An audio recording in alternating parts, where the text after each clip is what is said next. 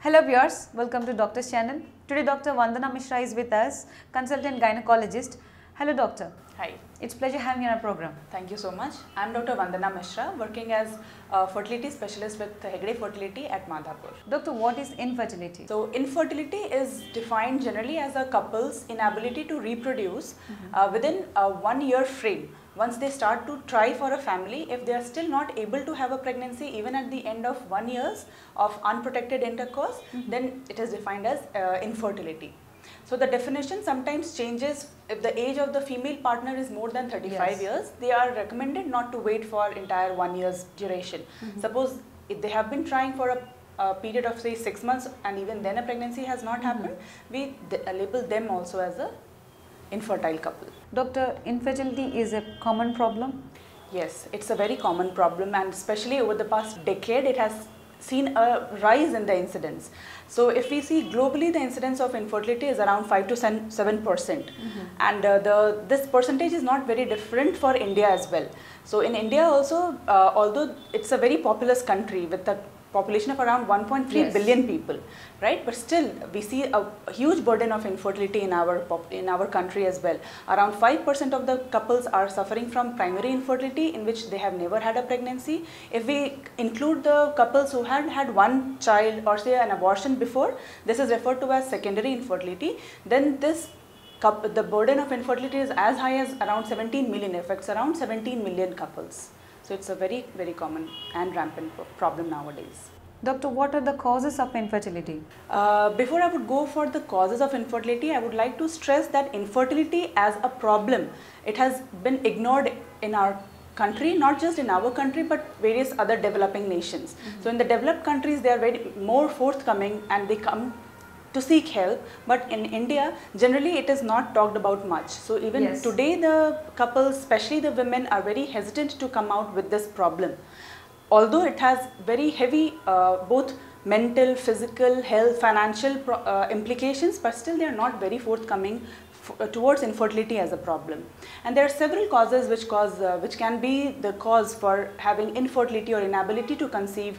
So uh, some of the common problems which affect the females.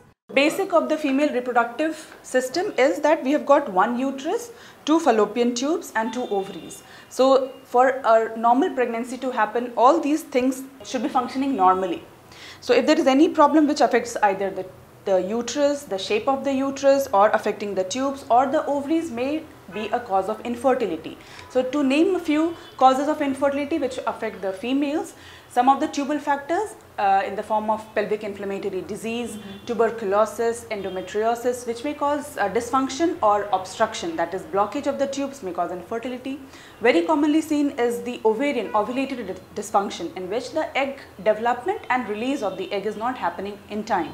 So, some of the very common cause, which is polycystic ovarian syndrome (PCOS), which affects the young girls as well as the the, the reproductive age females is a very common cause of infertility. Then any of the uterine factors which affects the uterine cavity shape and causes distortion in the form of uterine fibroids, polyp or septa in the uterus or any Mullerian anomalies of the uterus may also cause infertility. This would be specific for the females. Doctor, what causes infertility in men? So uh, again, before I go towards the causes in the men, I would like to stress on the fact that infertility as a problem is not generalized for females. Huh? Yes, so if the female partner is at fault in say around 30 to 40 percent of the cases, equal number of men are also responsible as a cause for infertility.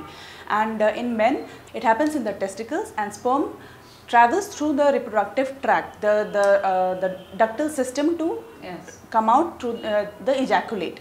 So any problem which affects the testicular function or any obstruction in the transport of the sperms may result in say azoospermia which is no sperms in the semen or if any problem affects the sperm's number, the quality of the sperm in the form of the abnormal shapes or motility may affect the, the may cause infertility in the men. Doctor, infertility can be hereditary. Yes, it can be hereditary. Some of the problems, as I mentioned, like PCOD, it has been seen that 10% of the cases of PCOS are genetic. Also, endometriosis also has a familial inheritance. hmm. Then, some of the causes of uh, male infertility in the form of chromosomal abnormalities, say, uh, or a Y chromosome microdeletion can be familial. So, yes, it can be hereditary sometimes as well. Doctor, what other things can cause infertility? So, as I had mentioned that infertility has increased in incidence over the past decade. So, some of the factors in the form of uh, sedentary lifestyle, Yeah.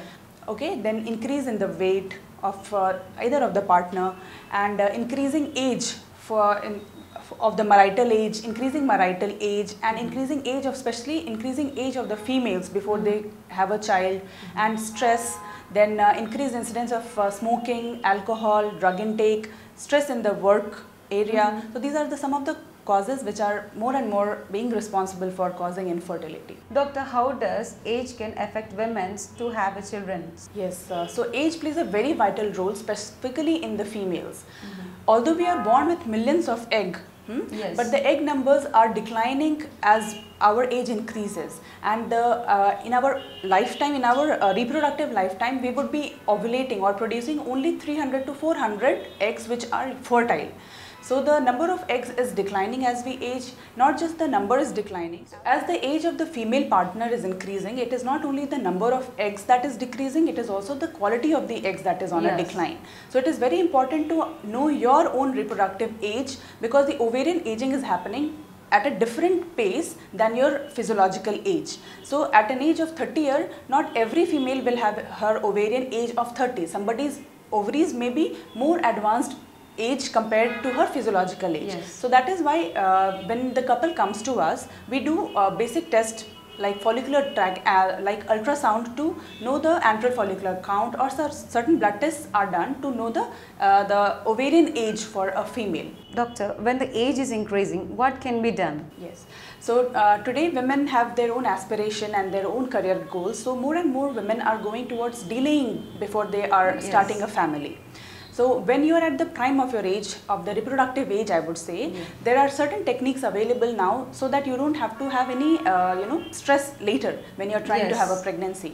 So there are uh, certain techniques which is known as embryo freezing or uh, freezing of the oocytes, which can be done, with, which are the options available nowadays. So females who have a who are married or have a, a partner, they can go for freezing of their embryos. So we do, uh, we make the embryos by harvesting their eggs and using the sperms of their partner. An embryo is created and it's frozen. And according to the government's regulations the embryos can remain frozen for up to 10 years. So they can freeze their embryos when they are not yet ready for a family. Uh, suppose you are not married or do not have a dedicated partner you can opt for oocyte freezing in which your eggs we give you certain injections. These are all very safe procedures. Doctor, there will be no complications? uh, yeah, these are uh, very, very safe procedures nowadays. The females are given hormonal injections and it is all supervised under the guidance of the doctor. So uh, we will be keeping a track of the hormonal uh, fluctuations and uh, scans would be done at regular periods and the procedure is generally very, very safe. Okay, so the eggs are taken out under general anesthesia. There will be no cut on the body. Okay, and uh, the eggs can be harvested. They can be frozen again for uh, as long as 10 years. Doctor, would you like to say something to our viewers? So it is very important to understand that infertility is a very common problem and it is not a problem limited to the females only. The male partner is responsible in equal number of cases. So it is important for both of you to come ahead and seek help if there is a problem.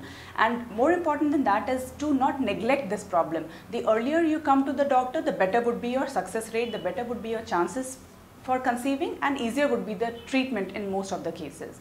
And also try and live a very uh, healthy lifestyle uh, while you are planning a pregnancy in the form of being physically active.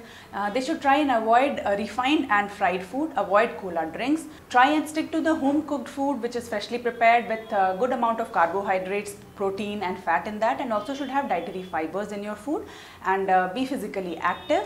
Try and uh, reduce the amount of stress and uh, try and have 6 to 8 hours of sleep in the night time and most importantly do not hesitate and seek help on time thank you Thank you, Doctor. thank you so much I hope you found this video useful. So don't forget to like, share, subscribe to our channel. For more info, visit our channel. Thanks for watching.